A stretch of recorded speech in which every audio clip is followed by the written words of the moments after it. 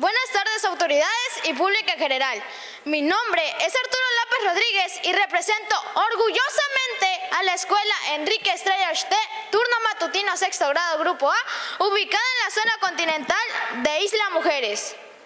Yo soy Arturo y tengo una familia que me quiere y me respeta.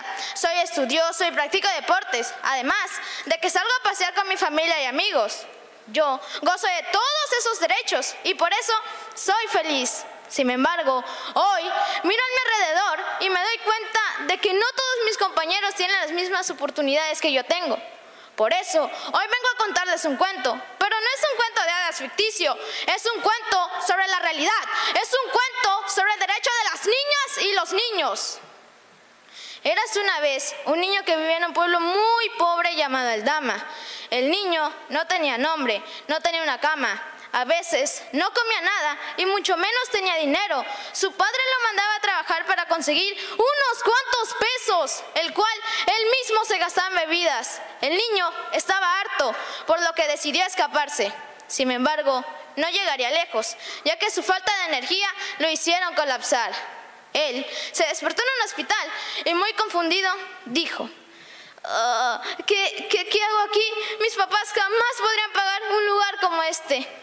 Entonces, una mujer apareció y le dijo, no, no te preocupes, soy Tamara, te vi tirado y te traje aquí.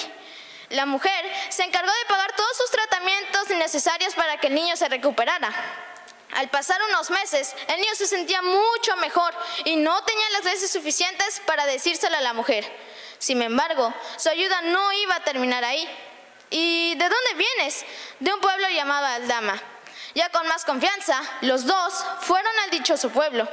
¡Wow! Esto, esto es terrible. No puedo imaginar por todo lo que tuviste que pasar. Me da tanta lástima, pero no me pienso quedar con los brazos cruzados.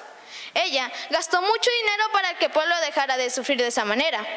Todo el pueblo estaban agradecidos con la mujer, pero la aventura había terminado.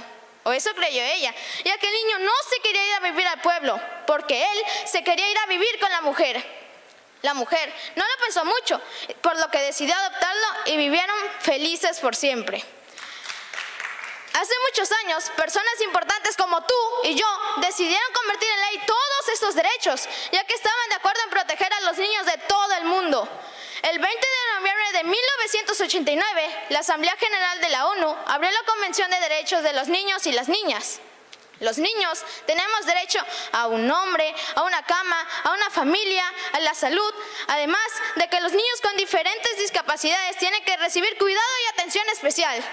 Pero, ¿de qué te sirve que yo cuente todo esto si tú no lo vas a poner en práctica con tus hijos? Recuerda que tú, yo y todos formamos parte de una y está en nuestras manos vigilar que se cumplan nuestros derechos participando en acciones que mejoren nuestra calidad de vida. Gracias.